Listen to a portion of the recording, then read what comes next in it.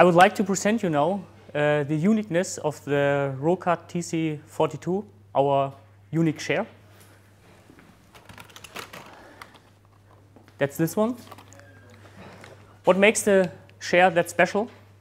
First of all, if you get it into your hand, you feel the ergonomy, the rubberized grip, so you always feel very safe in the handling this share. The other most important thing here is when you are cutting that the pipe is getting is not getting deformed.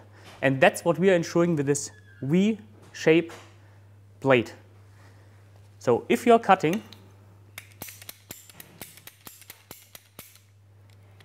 the edge is first dipping into the pipe like a tip point first cut and then it's very easy to cut the whole pipe through.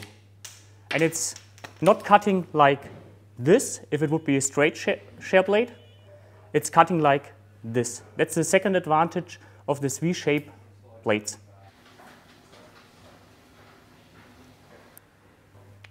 Open, automatic open, very easy to handle. Lock it with a safety lock, put in your toolbox, ready to go.